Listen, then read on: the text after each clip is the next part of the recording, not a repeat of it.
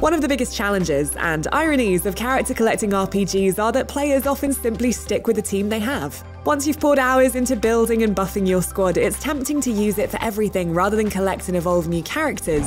But when a game's core revolves around adapting to new challenges and enemies, developers need to encourage players to branch out.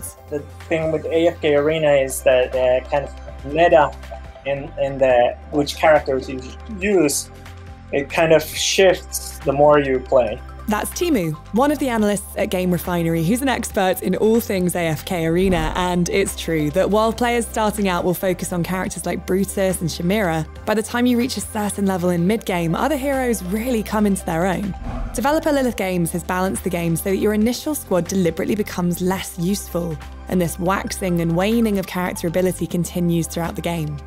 Being a great long term AFK Arena player requires you to be responsive and know when to shuffle your team. In other words, diversity is a core tenet of AFK Arena's game design. And this rule doesn't just apply to character rosters. A constant flow of events, daily tasks, updates, and ideas keeps variation at the fore. With over 10 million downloads, AFK Arena is a force to be reckoned with, and in this episode of Game Dev Playbook, we're breaking down why. Let's take a quick moment to recap how AFK Arena plays. It's a turn based card RPG, so the core gameplay loop is battling to receive rewards that you then use to upgrade your team. It's the same motivation as pretty much every gacha driven game on the market, but where AFK Arena breaks the mold is by leaning into the idle or AFK element. There's a bit less of this than the trailer suggests. When you switch off the app, a small chest in the main menu accumulates useful items that make battles easier, and in a nifty twist, the chest becomes full every 12 hours. This encourages players to play two long sessions in a day. For example, one at 8am when they wake up, and then another one at 8pm after dinner.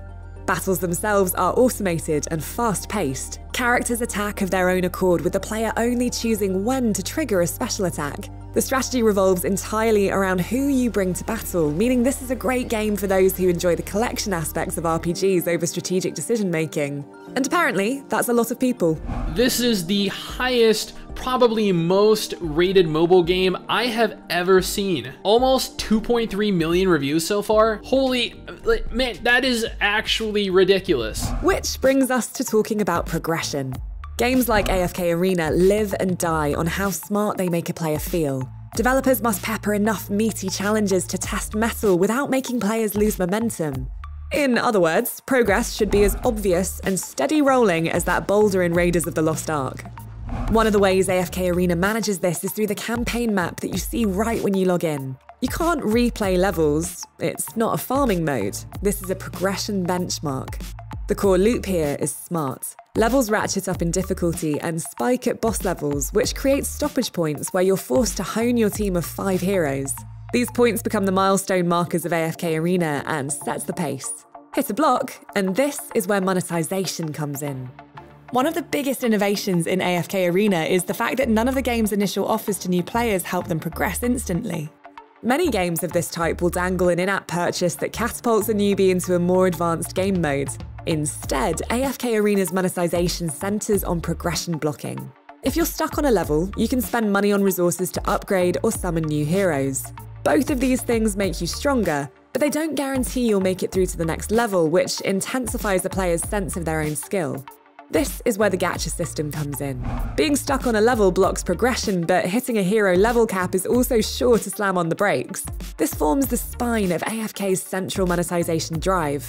To ascend a hero and make them stronger, you'll need three identical heroes, which you'll get from pulling a lot of gachas. This is time intensive if you don't make a purchase, and as you progress through the game, the need to pull gachas mounts, along with the temptation to spend. Then there's the AFK aspect of AFK Arena. Even if you didn't play the game for 15 days, you'd come back and rewards would have been accumulating. Your recently used team will automatically fight an endless mob of enemies while you're away, which farms XP, coins, and weapons. The rewards are directly tied to how far into the campaign you've battled, which helps players feel like they've earned those idle rewards and deepens the satisfaction. This is the compelling mechanic that creates those convincing little push notifications that remind you to come back to the game.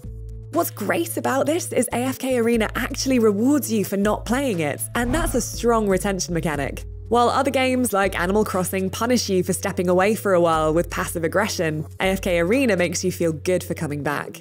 I'm analyzing football manager game. I had a couple of days off and, and suddenly some players on my team have left. Like the game moves on without you, uh, without you getting benefits from it. So then here in AFK Arena, I, I suddenly I was off and I'm rewarded with uh, really good equipment or or stuff like that, and I, I can I can uh, upgrade my favorite hero. It works. The other thing that works events. When you first start playing AFK Arena, there are a few daily events you can take part in for newbies. As you progress, more events open up that can reward you with rare heroes. Some are time limited, some aren't, but they're all incredibly creative. Take, for example, the popularity contest. Players voted for eight of their favourite characters, and from those results, the most popular were entered into a tournament. The clever thing was that developers could get insight on which characters are most liked and they could make similar kind of characters in the future. Lilith Games constantly pumps new, unique content into AFK Arena, and events like this make sure that even if you're stuck on a level, there's always something to do. Of course, sometimes this creativity can backfire. Well, one event that went went wrong wrong was kind of a uh, player popularity. When the popularity contest was applied to players, the idea was that those who received the most gifts from other players would be rewarded with the best avatar frame. So what happened was people started scamming others. They were uh, selling nude pictures and and oh. what's not. So I think that that was a uh, misstep.